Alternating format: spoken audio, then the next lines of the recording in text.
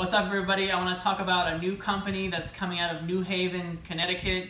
It's called Zoni Foods. I think this is a great concept, so I want to share this with you. Um, what happened is this woman, Zoe Lloyd, and co-founder, whose name is Nilofer Ahmed, were at the Yale School of Management, and they were looking for healthy, quick meals that were inexpensive that uh, could fuel them through their work, through their studies. So what they've done is they've created Zoni Foods, which their mission on their website is to make it easy for everyone to eat healthy plant-based food. So how that comes together in their meal kits, which I think this is just a great idea. Right now it's just in the local Connecticut area. It hasn't branched out everywhere, but anyway, the concept of their meals is to include a starch such as noodles, a nut-based sauce, and a plant-based protein that can feed a single adult for just $5.99 with no added ingredients in just about 10 minutes.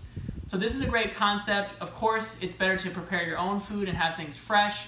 But for those that are um, busy, for those that maybe not have as much funds available or, or, or want to find something frozen and just convenient, this is a great option.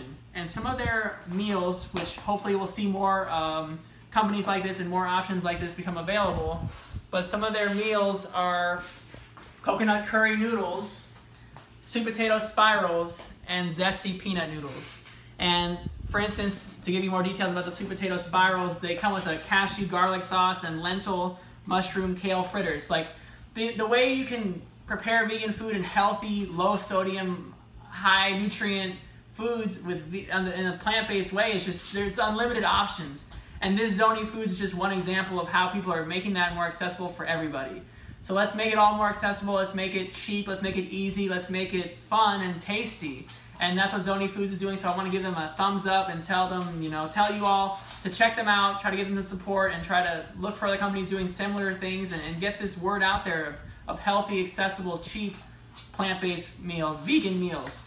So give it a shot. I'll give you some links down below with some more information on this, and best of luck to them, and See you next time.